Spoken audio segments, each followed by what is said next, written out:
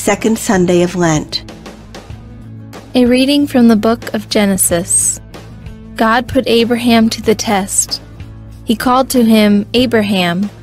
Here I am, he replied. Then God said, Take your son Isaac, your only one whom you love, and go to the land of Moriah. There you shall offer him up as a holocaust, on a height that I will point out to you. When they came to the place of which God had told him, Abraham built an altar there and arranged the wood on it. Then he reached out and took the knife to slaughter his son. But the Lord's messenger called to him from heaven, Abraham, Abraham. Here I am, he answered. Do not lay your hand on the boy, said the messenger. Do not do the least thing to him. I know now how devoted you are to God since you did not withhold from me your own beloved son. As Abraham looked about, he spied a ram caught by its horns in the thicket.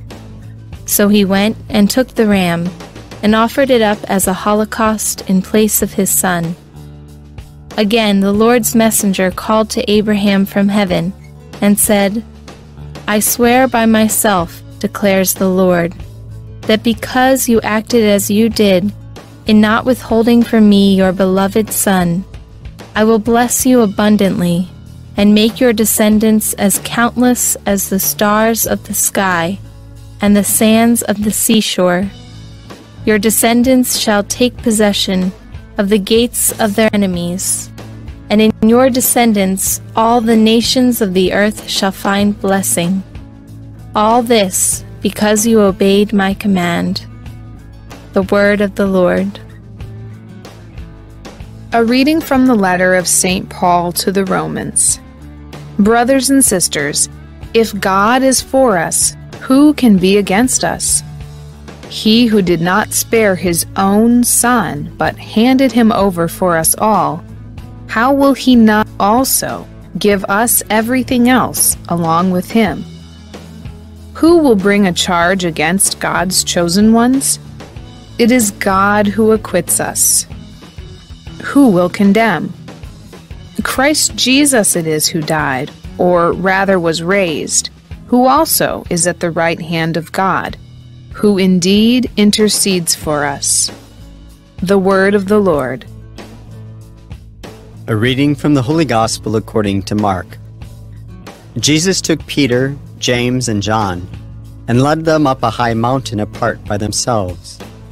And he was transfigured before them, and his clothes became dazzling white, such as no fuller on earth could bleach them. Then Elijah appeared to them along with Moses, and they were conversing with Jesus.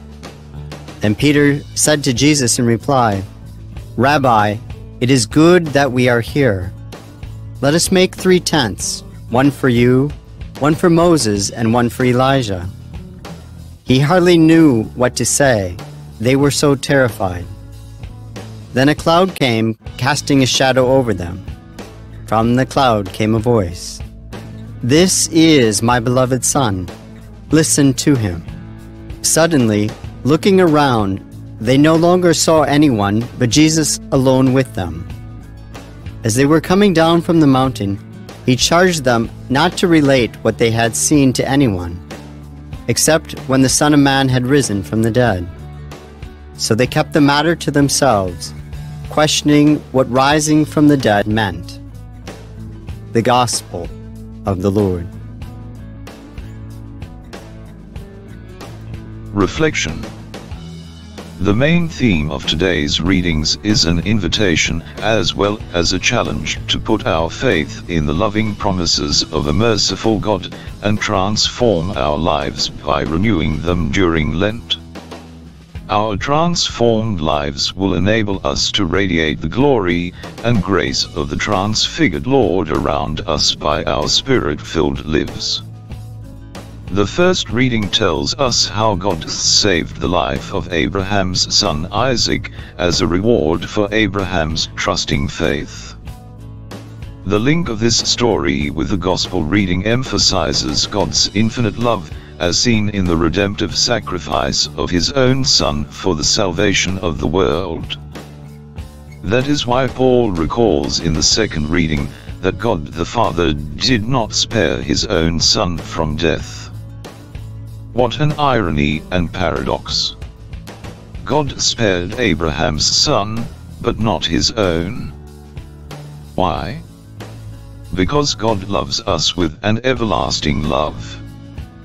Describing Jesus' transfiguration, today's Gospel shows us a glimpse of the heavenly glory waiting for those who do God's will by putting their trusting faith in Him.